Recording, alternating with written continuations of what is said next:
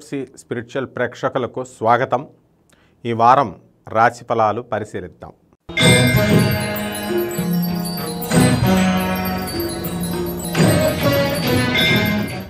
సింహరాశి.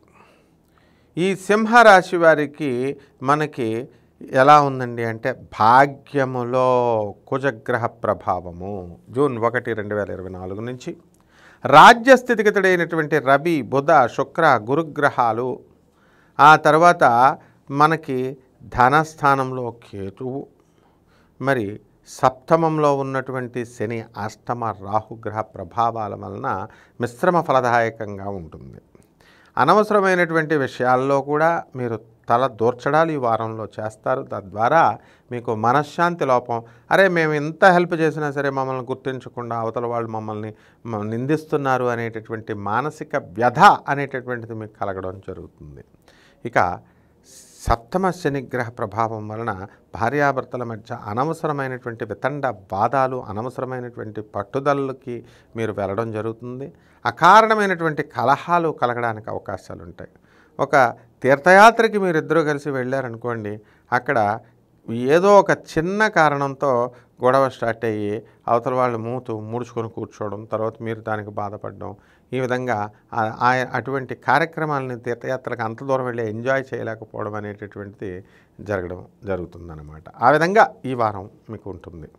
అలాగే కోర్టు సమస్యల్లో ఉన్నటువంటి వాళ్ళకి ఇంకా కోర్టు పెండింగ్లోనే ఉంటాయి.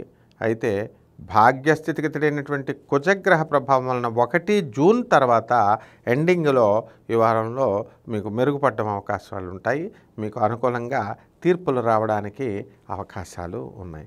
విద్యార్థులు వచ్చేసరికి మరి చక్కగా చదవాల్సినటువంటి అవసరం ఉంది.